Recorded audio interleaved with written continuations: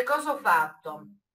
Qua c'è un nuovo file, si chiama new 1, ho inserito HTML, HTML e slash HTML, poi sono andata sul linguaggio e ho scelto come linguaggio HTML. In questo modo vengono colorati i tag hm? perché viene riconosciuto che questo è il linguaggio HTML. Prima di procedere conviene salvare questo file che in questo momento non è salvato. Come faccio per salvarlo? Basta cliccare su questa icona qui, salva. Ora il problema che spesso hanno gli studenti è che salvano a casaccio. Non salvate a casaccio, andate dove volete voi. Va benissimo anche sul desktop. Dovete creare una nuova cartella, quindi cliccando su crea nuova cartella, date questo, un nome a questa cartella che può essere esercizio o quello che volete voi, poi entrate dentro questa cartella e attenzione, il file non si può chiamare new, new 1, diamogli un nome decente. Quindi prima di salvare, qua cambiamo il nome del file, diventa index. Poi se osservate qua sotto c'è già salva come hypertext markup language file, cioè salva già il file come HTML perché? Perché scegliendo il linguaggio HTML lui lo riconosce già come HTML.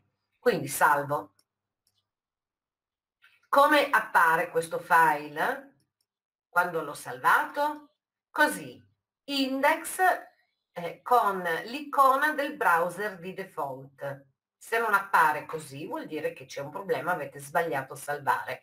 Poi c'è tipo e qua mi dice che è un HTML document.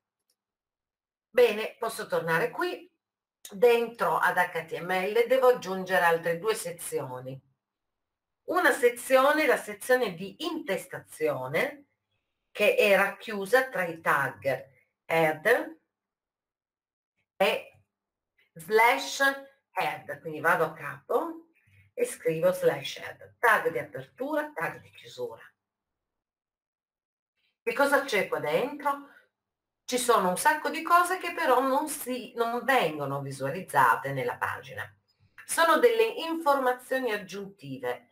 Avete visto prima, quando parlavo in precedenza, che posso metterci dentro dei CSS, posso metterci dentro una serie di informazioni che riguardano il documento. Invece, per andare a scrivere le cose che si vedranno nel browser, devo andare a creare questa ulteriore sezione body. Body. Quindi dentro il body vado a mettere quello che voglio che venga visualizzato nel browser. Poi salvo così almeno sono sicura che se dovesse chiudersi o succedere qualcosa di particolare, almeno questo me l'ha salvato. Che cos'è che posso mettere nel body? Mm, tutta una serie di cose. Iniziamo a vederne alcune. Quindi iniziamo a vedere tutto ciò che riguarda il testo. Io posso anche scrivere il testo liberamente, cioè per esempio scrivere eh, questo è testo libero. Ora salvo e per vederlo nel browser o vado di nuovo sul desktop, apro la cartella e faccio doppio clic su questo file o più comodamente da Notepad, Notepad++ dovreste avere qua esegui e la possibilità di lanciarlo nel browser che preferite. Io lo lancio e deve essere installato il browser ovviamente lancio in Chrome. Qui vedete che compare il testo che ho scritto, questo è il testo libero. Quindi non c'è bisogno di fare grandi cose, tutto quello che io scrivo qua dentro, tra, nel body, si vede nella pagina. Il problema però è che dobbiamo creare delle pagine che siano un po' belle, un po' eleganti, con delle immagini, dei colori, quindi normalmente non si inserisce del testo così ma si utilizzano degli altri tag. Uno di questi, un tag che viene utilizzato per il testo è il paragrafo P. Quindi come si scrive normalmente del testo? Non così, ma si scrive tra i tag P e slash P. Quindi P slash P. Ecco, qua in mezzo posso scrivere del testo che viene interpretato come paragrafo. Quindi questo è un paragrafo. Che differenza c'è tra il testo libero e il paragrafo? Che il paragrafo una, eh, è un elemento di blocco, mentre il testo libero non lo è. Questa è una cosa molto importante da capire. Intanto vediamo come appare nella pagina. Non è qua, ma è l'altro browser. Mm? Sembrerebbero uguali, non sono uguali, perché il paragrafo lascia uno spazio prima del testo e dopo il testo, mentre il testo libero, cioè senza al di fuori dai tag, non ha questa proprietà. Inoltre, ad un paragrafo posso mettere dei bordi, eh, posso dare una larghezza, un'altezza, una dimensione, quindi. Mentre per, il, un testo, per un testo libero no, questo non lo posso fare perché non ha appunto una formattazione particolare. Però, di là di questo, quindi questo è testo libero, non si usa, lo cancello, perché non si scrive così.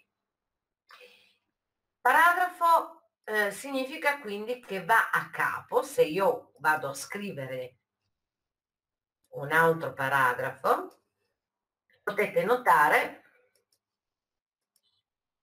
che a giorno va a capo in automatico, lasciando oltretutto dello spazio del margine, quindi tra un paragrafo e l'altro. C'è anche un altro modo per scrivere del testo, certo, utilizzando l'elemento div, il tag div. In realtà il tag div viene usato principalmente per il layout, cioè per disporre gli elementi all'interno di una pagina, però può essere utilizzato anche eh, per eh, contenere del testo. In pratica il div è un contenitore, può contenere testo, può contenere immagini, può contenere un sacco di cose. Quindi questo è testo dentro a un div. E quindi andiamo a chiudere sempre il tag iniziale con il tag finale e scrivo un altro, salvo, e andiamo a vedere cosa succede. Apro sempre la stessa pagina HTML e la aggiorno qua. Ecco, quale differenza c'è rispetto al paragrafo? si vede subito. Mentre il paragrafo manda a capo lasciando del margine tra un paragrafo e l'altro, il div manda a capo però non lascia spazio. Un altro modo per scrivere il testo, utilizzando span. Perché ho scritto testo inline? Salvo, andiamo a vedere. Allora potete notare che non va a capo automaticamente. Non va a capo automaticamente perché il, questo elemento non è un elemento di blocco, non va a capo automaticamente, non ha un suo, non occupa uno spazio, un rettangolo diciamo all'interno del documento, ma gli elementi span vengono allineati orizzontalmente fino a quando c'è posto. Quando non c'è più posto va a capo, perché non c'è più posto, non per altro.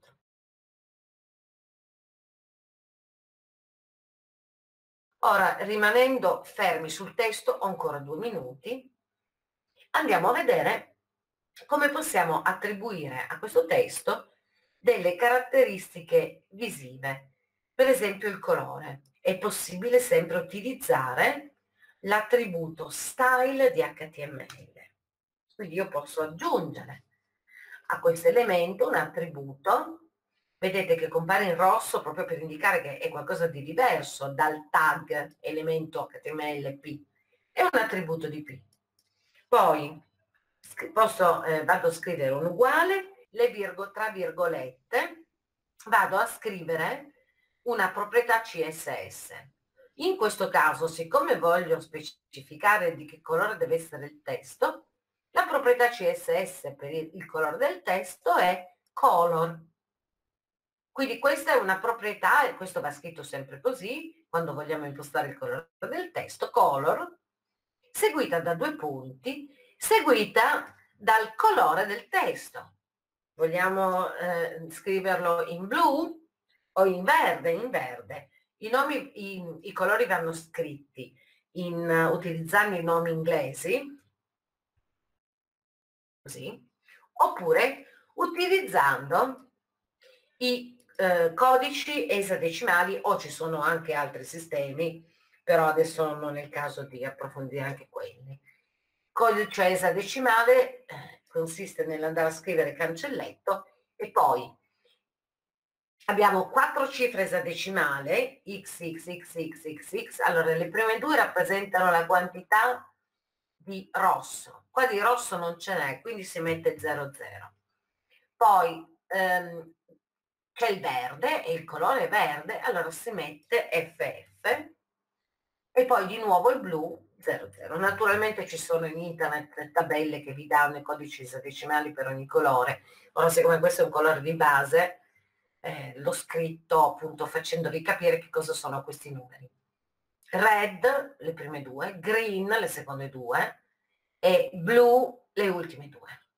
Quindi se volessi creare il blu, basterebbe andare a scrivere, per esempio in questo div, invece di mettere FF dove c'è il verde, metto FF dove c'è il blu e lascio lo zero negli altri.